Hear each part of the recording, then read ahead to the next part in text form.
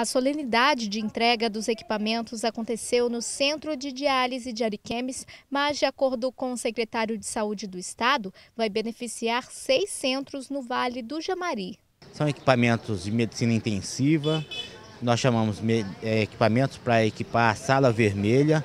Nada mais é que um leito de UTI que fica disponível em cada município desses, seis municípios estão sendo contemplados que vai, vai com certeza salvar vidas no período mais crítico. A emenda é de autoria da deputada federal Marinha Halpe, em parceria com o governo do estado. O total de investimento, que são 38 municípios, são mais de 3 milhões. Então, assim, é um valor significativo, mas o mais importante são os equipamentos.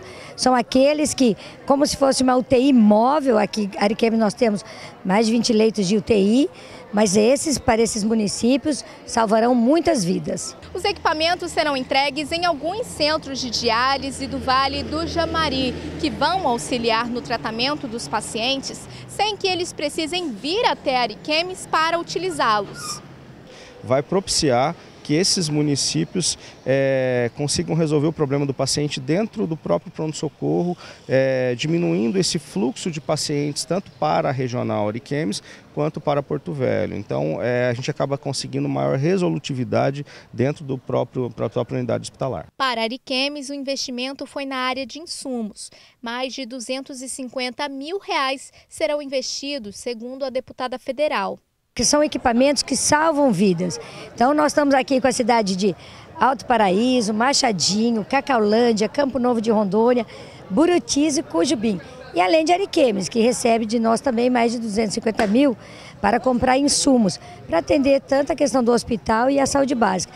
O senador Valdir Raup também esteve na entrega dos equipamentos e enfatizou a necessidade de atenção por parte do poder público na área da saúde. Qualquer pesquisa que a gente faz dá em primeiro lugar né, a reclamação na área da saúde. Então todo investimento que você faz, toda a atenção que você dá na área da saúde ainda é pouco para atender a população de Rondônia. Já melhorou muito, acho que a saúde de Rondônia nos últimos anos tem melhorado bastante. Mas é possível melhorar um pouco mais ainda, desde que todos né, unidos possam é, viabilizar esses investimentos. O governo do estado, as prefeituras, o governo federal através da nossa bancada, de mim da deputada Marinha Halpe, esse trabalho que nós temos feito com praticamente os 52 municípios de Rondônia.